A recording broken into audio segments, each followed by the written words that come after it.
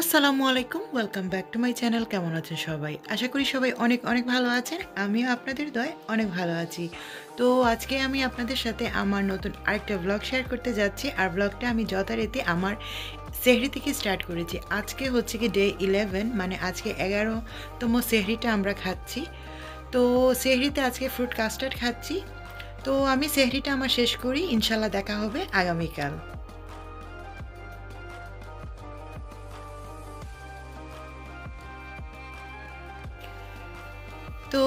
পরের দিন চলে আসছি আমি, আর আজকে আমি আমার ইফতারের রেসিপি থেকে শুরু করব। তো অনেক রিকোয়েস্টেড একটা ভিডিও আপনাদের সামনে আজকে তুলে ধরবো। লিজা হাসান নামে একজন আমার ফেসবুক ফ্রেন্ড এবং ছোটো বোন বলতে পারেন। তো সে আমাকে অনেক দিন ধরে রিকোয়েস্ট করছিল আমার ঘিয়ের রেসিপিটা দেওয়ার জন্য। তো লিজা, এই যে তোমার জন্য আমি রেসিপিটা রেডি করলাম। তো প্রথম আমি এখানে আমি কীভাবে ঘিটা বানাই সেটাই আপনাদেরকে দেখাচ্ছি। তো এইখানে আমি থার্টি টু আউন্সের আমি হেভি হুইপিং ক্রিম নিয়ে নিয়েছি। তো আমি আজকে আপনাদেরকে একটা দিয়ে বানিয়ে দেখাচ্ছি। আপনারা চাইলে এটার ডাবল ট্রিপল যতটুকু আপনার প্রয়োজন সেই অনুপাতে নিয়ে নেবেন। তো প্রথমে আমি একটা ব্লেন্ডারের মধ্যে পুরো ক্রিমটাকে দিয়ে দিচ্ছি। দিয়ে এটাকে আমি হাই স্পিডে ব্লেন্ড করব। আপনারা চাইলে কিন্তু হ্যান্ড উইক্স বা ইলেকট্রিক বিটার দিয়েও বিট করতে পারেন। তো এখানে আমি দেখতেই পাচ্ছেন, এখানে মানে আমি ব্লেন্ড করে নিচ্ছি এখানে ব্লেন্ডটাই হচ্ছে সবচাইতে মানে গুরুত্বপূর্ণ এই ব্যাটারটা বানানোর জন্য। তো প্রথমে আমি বাটার বানাবো দেন ঘি বানাবো। তো দেখতেই পাচ্ছেন, আমি ফুল স্পিডে এটাকে ব্লেন্ড করছি। কিছুক্ষণ পর দেখতে পাবেন এটা ফমি হয়ে গিয়েছে, এই যে দেখেন। যেমন আমরা কেকের উপরে যে বাটারটা দেই। তো কিছুক্ষণ পর দেখবেন পানি মানে ছাড়া শুরু করেছে, যেটা থেকে আমরা বাটার মিল্ক পাই। তো এই যে দেখতেই পাচ্ছেন, উপরের দিকে ঠিক ক্রিমের মতো হয়ে গিয়েছে এবং নিচে কিন্তু প্রচুর পরিমাণ পানি আছে, যেটা স্পেচুলা দিয়ে আপনারা যদি একটু সরিয়ে দেখেন দেখতে পাবেন। তো এখন কিন্তু ব্ল্যান্ডারও চলতেছে হাই স্পিডে, কিন্তু যেহেতু এটা বাটারটা হয়ে যাচ্ছে, তার জন্য একটু আস্তে আস্তে হচ্ছে। আর এই যে দেখেন, পানিটা মানে বাটার মিল্কটা চলে আসতেছে। আপনারা দেখতেই পাচ্ছেন প্রচুর পরিমাণে পানি আসছে। তো এটাকে আমি আরও দশ মিনিটের মতো এটাকে ব্লেন্ড করব। এটাতে কতটুকু সময় লাগবে ডিপেন্ড করবে আপনার ব্লেন্ডার স্পিডের উপর। তো যখনই দেখবেন ব্যাটার থেকে পুরো পানি হয়ে গিয়েছে এবং আমি কিন্তু লাস্টের পাঁচ মিনিট কয়েকটা আইসের টুকরো দিয়ে দিয়েছিলাম। আইসটা দেওয়ার কারণ এটাই হচ্ছে কি, এটা তাড়াতাড়ি হবে। দেন আমি এটা তুলে দেখতে পাচ্ছেন পুরো জিনিস, আমি যেরকম করে ঠান্ডা কোল্ড ওয়াটার আইস যে পানিগুলো থাকে, পানির মধ্যে সব আমার বাটারটা দিয়ে দিচ্ছি। এখন কিন্তু আমরা যে আনসল্টের যে বাটারটা পাই, এই বাটারটা কিন্তু এখানে পেয়েছি। তো আমি এখন এই ঠান্ডা পানিতে আমি প্রায় ছয় থেকে সাতবার আমি ভালো করে এটাকে মানে ক্লিন করে নিব এবং পানিটাকে ভালো করে জড়ি মানে ছড়িয়ে নিব। আমি যেভাবে হাত দিয়ে চেপে চেপে পানিটাকে মানে ফেলে দিচ্ছি, এই বাটারের মধ্যে কিন্তু কোনো রকমের পানি থাকা মানে থাকবে না। যদি পানি থাকে তাহলে বাটারটা কিন্তু বা ঘিটা ভালো আসবে না। দেন আমি এখন আবার সেকেন্ডে এই বাটারটাকে এই ঠান্ডা পানির মধ্যে দিয়ে দিলাম, যাতে করে এটা আরও একটু মোল্ডের মতো হয় মানে আর একটু শক্ত হয়। তো আমি কিন্তু এভাবেই ঘি বানাই এবং অন্য আরেকটা প্রসেস আছে, ওইটা, ওইটার মতোও বানাই বাট আমার এই ঘির মানে স্মেল বা ইয়েটা আরও বেশি ভালো লাগে। তো এটাকে আমি পুরো ছয় থেকে সাতবার মানে কোল্ড ওয়াটার দিয়ে ধোয়ার পর আমি এতটুকুন বাটার পেয়েছি দেন আমি একটা পাত্রের মধ্যে বসিয়ে দিলাম। তো এই যে এখন ব্যাটারটা কিন্তু মেল্ট হওয়া স্টার্ট হয়ে যাচ্ছে। আপনারা যদি আমার আগের যে প্রসেস মানে ক্রিম দিয়ে বাটার দিয়ে ঘি বানাচ্ছে, এই প্রসেসটা ভালো না লাগে দেন আপনারা কি করবেন? দোকানে কিন্তু কিনতে পাওয়া যায় আনসল্টেড বাটার আনসল্টেড বাটার এনে এইভাবে ঠিক এই পর্যায়ে চুলার মধ্যে দিয়ে এটাকে মেল্ট করেও কিন্তু বাটার বানাতে পারেন। তো এখানে দেখেন এটা মেল্ট হয়ে যাচ্ছে। নর্মালি অনেকেই আমরা আনসল্টেড বাটার দিয়ে দেন আমরা ঘি বানাই, কিন্তু ওই ঘি আর এই ঘিয়ের মধ্যে কিন্তু নাইট অ্যান্ড ডে ডিফারেন্ট আমরা যেটা বাংলাদেশের খাঁটি ঘি যেটাকে বলি, এটা কিন্তু এই প্রসেস থেকে যদি আপনারা বানান, একদম একজ্যাক্ট ওই ঘির গ্রানটা পাবেন। ওই ঘিটাও ভালো, খেতে খারাপ না, ঘ্রাণ আছে, সুঘ্রাণ আছে মানে ভালোই লাগে। বাট এই ঘি যখন আপনারা বানিয়ে খাবেন, আমি বলব আপনারা নিজেই তফাতটা বুঝতে পারবেন।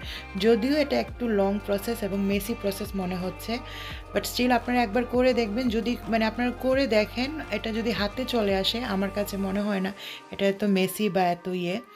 তো অলরেডি দেখেন আমার ঘিটা মানে বের হওয়া স্টার্ট হয়ে গিয়েছে, দেখতেই পাচ্ছেন।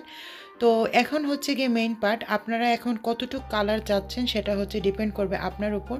তো আমি একটু ডার্ক ঘির কালার আমার ভালো লাগে। ডার্কটা করলে কি হয় ঘির স্মেলটা কিন্তু আর একটু স্ট্রং হয়। বাট স্টিল তারপর এটা আপনি দেখার মানে সুবাদে আপনি চাইলে যে এই পর্যায়ে কিন্তু ঘিটা নামিয়ে নিতে পারেন।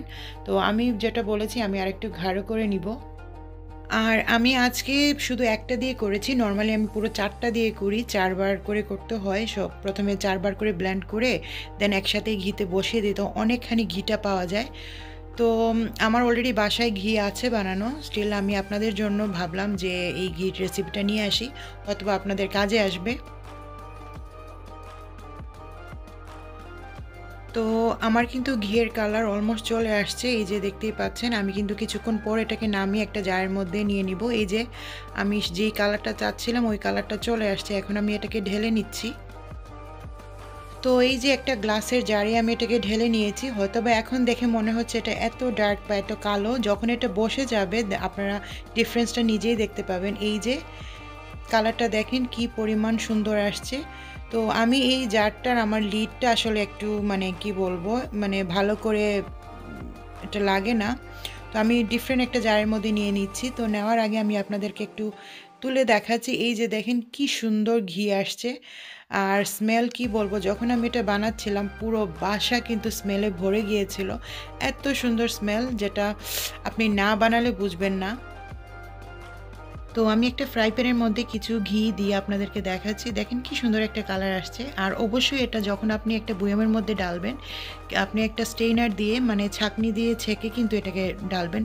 তো এই যে আমি জারটাকে চেঞ্জ করে নিয়েছি, এই জারের মধ্যে নিয়ে আসছি। এটার লিডটা একটু টাইট ওইটার লিডটা একটু লুজ ছিল। তো আমার কাছে মনে হচ্ছিল যদি পড়ে যায় তো আমি একটা মানে থার্টি টু আউন্স থেকে আমি এই এই পরিমাণ ঘি পেয়েছি। এখানে কিন্তু অনেক ঘি যেটা মনে করে কারণ এই ঘিটা আবার পরিমাণে একদমই কম লাগে।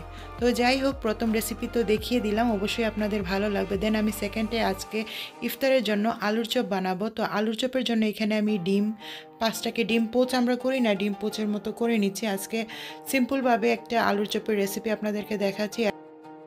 আর এই আলুর চপটা কিন্তু বানানো একদমই ইজি তো ডিম পোচটা আমার হয়ে গিয়েছে আর এই যে আমার পুচকুটা শুয়ে আছে।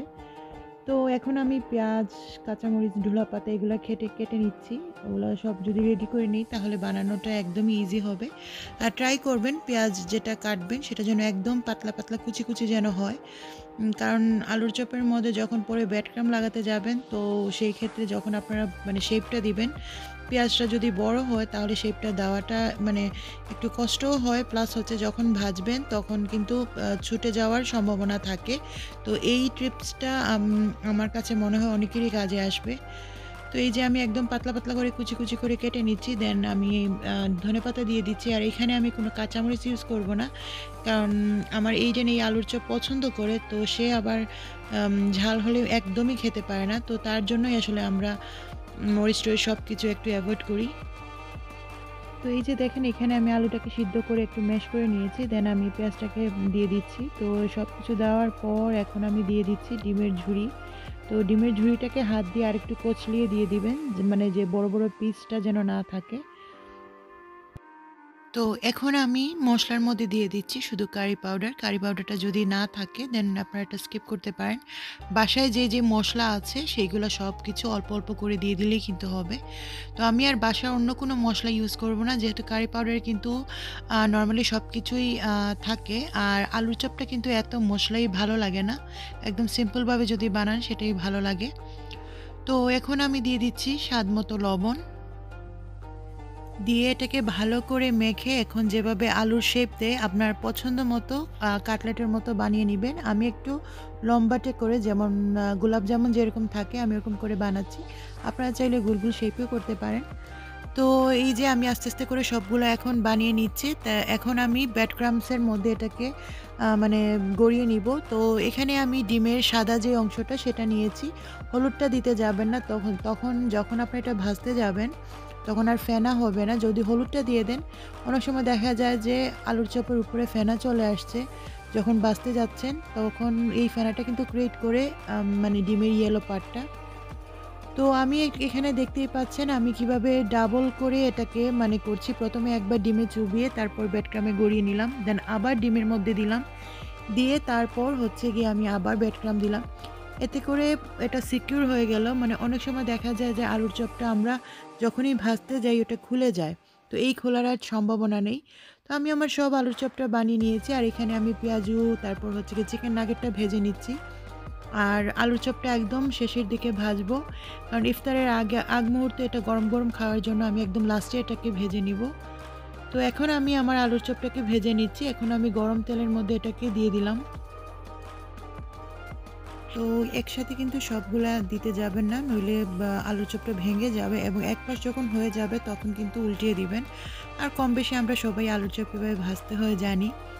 তো যেটা বলছিলাম, আগামীকাল হয়তো বা আগামী দুই দিন আমি আমার ব্লগ নাও দিতে পারি, কারণ টুমোরো হচ্ছে গিয়ে আমার ভ্যাকসিন সরি ব্যাকগ্রাউন্ডে হয়তো বা আমার আজানের সাউন্ড শুনতে পেয়েছেন, সে ঘুম থেকে উঠে গিয়েছিল।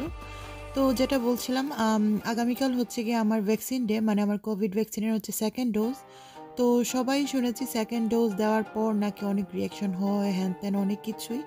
তো সেটার জন্য একটু ভয়ে আছি। সবাই দোয়া করবেন যাতে বড় ধরনের কিছু না হয়। তো তার জন্য হয়তো বা স্যাটারডে সানডে কোনো ব্লগ যাবে না। বা ট্রাই করব। আমার কিন্তু আগের মানে রমজানের আগের কিন্তু অনেক অনেক ব্লগ জমা আছে।